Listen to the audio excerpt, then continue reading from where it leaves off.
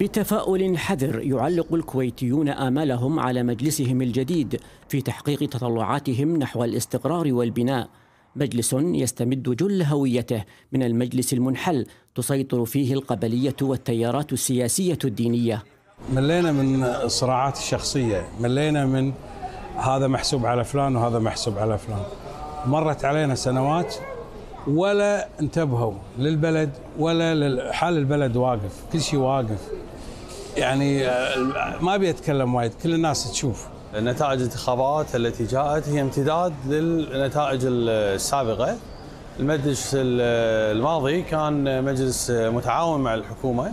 يمكن كان هناك بعض نقاط الخلاف لكن كانت إنجازات كبيرة وسجل تعاون على أرض الواقع.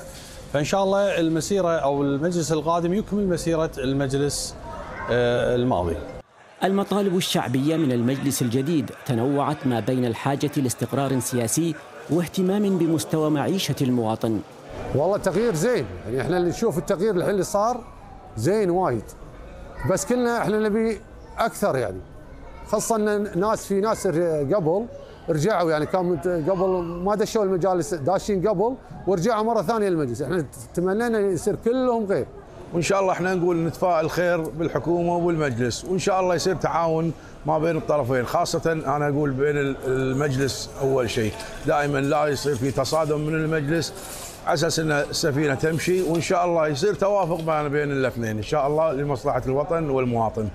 شريحة أخرى من المواطنين تطالب النواب الجدد بالتركيز أكثر على القضايا الشعبية والنهوض بالوطن بعيدا عن الصراعات والأجندات السياسية. آمال معلقة اليوم أكثر من أي وقت مضى على الحكمة في إدارة الملف التشريعي والابتعاد عن القضايا الجدلية وأن تكون أولويات العمل القادم هي مد يد التعاون. راشد العيد العربية الكويت. لمتابعة المزيد من الأخبار والبرامج والقصص الإنسانية والوثائقيات والتقارير الإخبارية لا تنسوا الاشتراك في قناتنا على يوتيوب الضغط على زر الإعجاب وتفعيل جرس التنبيهات.